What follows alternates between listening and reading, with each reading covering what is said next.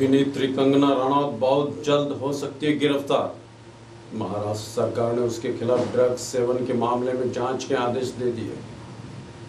2016 में अभिनेता शेखर सुमन के पुत्र अध्ययन सुमन ने कंगना रनौत के बारे में ड्रग्स सेवन को लेकर दिए एक इंटरव्यू को महाराष्ट्र सरकार ने आधार बनाया है। इस सप्ताह में कंगना रनौत की महाराष्ट्र पुलिस द्वारा जाँच संभव है। सूत्रों के अनुसार कंगना रनौत ने कहा है कि वह किसी से डरती नहीं और किसी भी जाँच के लिए तैयार है। आप देख रहे मुख नायक इंडिया टीवी। कृपया हमारे चैनल को सब्सक्राइब करें और हाँ लाइक और शेयर करना ना भूलें।